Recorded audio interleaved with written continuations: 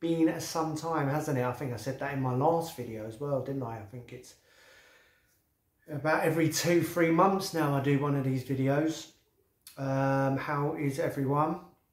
Um, to, to, I'm not going to, this isn't going to be a roundup of everything that's been going on. There's too much.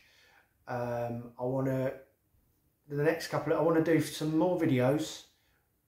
I've made that a priority because quite a few of you are still getting in touch and I've got no content out there and I've, I've put nothing out and mentioned how I am.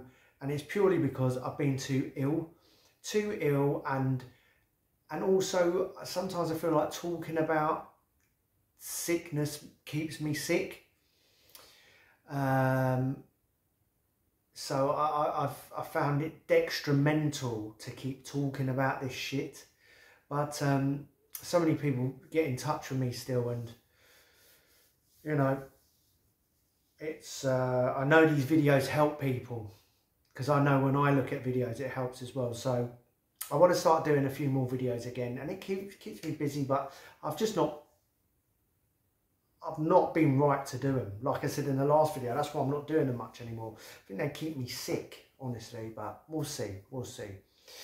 Um, so I, am just going to keep this specified to, if you've seen the title, obviously H. pylori.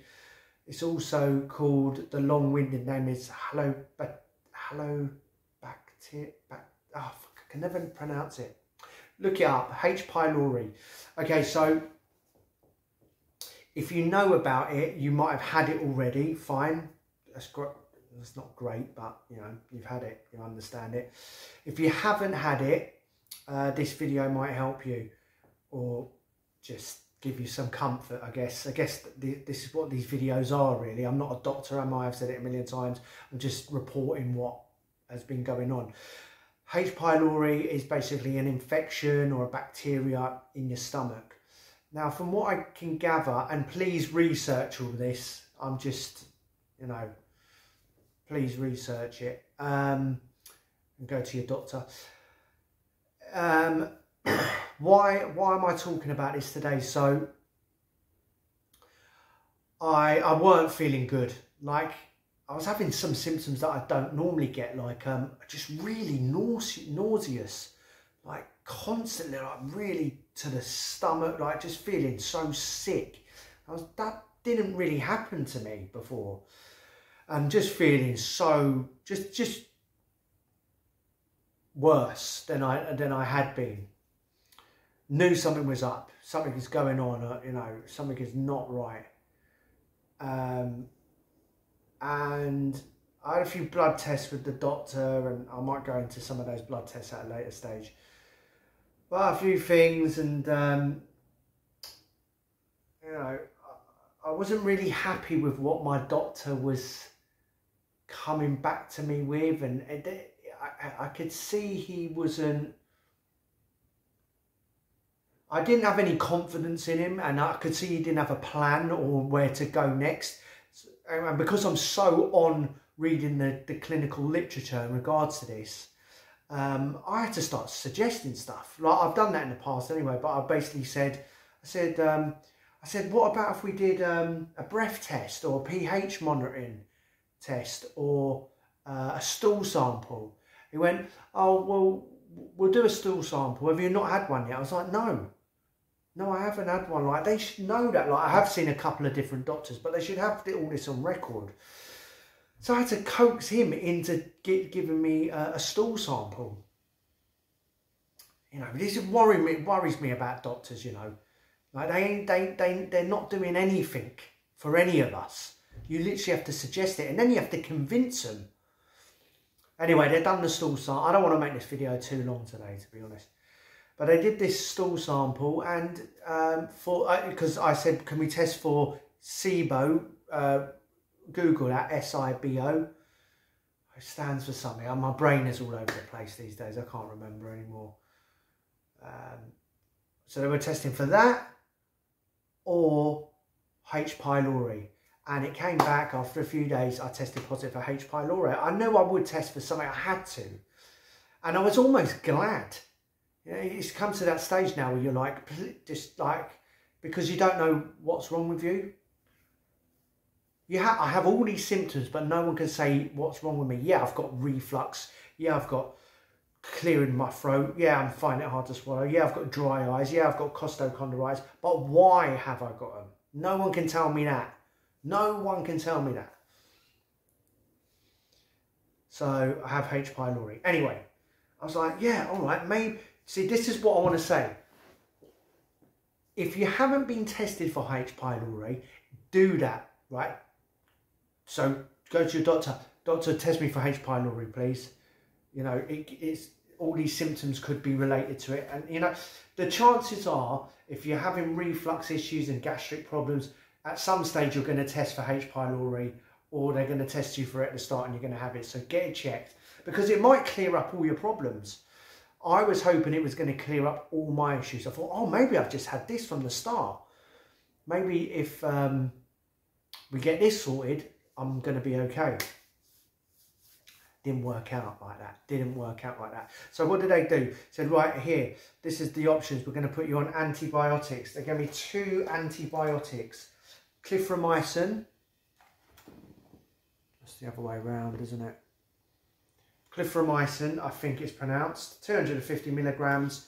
Take two twice a day, right? That's one antibiotic. Then they gave me this antibiotic. Met metron, metron, I can't bloody pronounce it. I didn't really care. When they gave it to me, I was like, just give me the drugs. Just make me better. Can't pronounce it. 400 milligram tablets, take one twice a day. And then the dreaded PPI. You know, if you've watched my videos, PPIs don't work for me. They do, they completely disagree with me. They make me worse. They give me symptoms. But I was willing to take it because I knew all of these drugs were just a seven day course. I would suck it up for seven days. It might make me better. Omeprazole. 20, 20 milligram tablets, take one twice a day for seven days. Anyway, I took them. Fucking hell, it was hard work on these tablets. They just, they, they all of this stuff, just, my body doesn't take to it. But you've got to take the PPI because you're taking antibiotics that to deal with the stomach, blah, blah, blah. It was hard work on them. They just make, they don't make me feel good. It messes with my mental health a little bit. Gives me symptoms. Anyway, I took them. Fine. From all accounts, it seems to have taken away the H. pylori because my nausea isn't like it was. But uh, I'm not better. I've still got so many problems. Uh, still got clearing of the throat, still having random abdominal pain, still having reflux issues. And then my other symptoms that just always seem to be there my dry eyes, my costochondritis, fatigue, so fatigued. So people don't understand fatigue. I think people think when they hear fatigue, they think you're just at home like pottering around the house doing odd jobs and you're not. You're in bed. You can't you you you, you you're you're shut down. It's so debilitating. Anyway h. pylori please go go ask to be tested for it um, if you haven't it's just another thing that you can get sorted out if you had it already then you understand don't you you know you know um, you, you know what it's like to go through, through it. There's some other things I've found in some blood tests and some other routes I've been going down um, and hitting some dead ends, but some interesting things and some liver, some some some things to do with my liver. Trying a few other things, but I'm going to keep these videos specific and not ramble because some of these videos are just bloody rambles. So yeah, I had H. pylori. It, I, I, took medication for it. Whether it's cleared it or not, they don't test you for it again.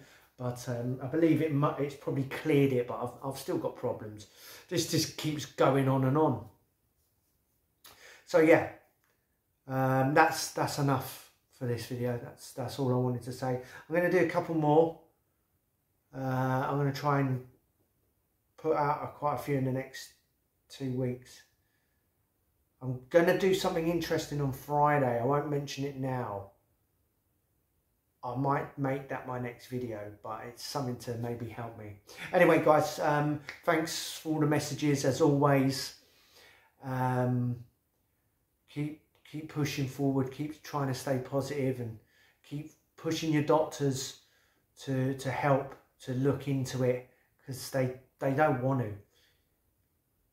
They'll make you feel like you're pestering them, and they will make you feel like you're a hypochondriac.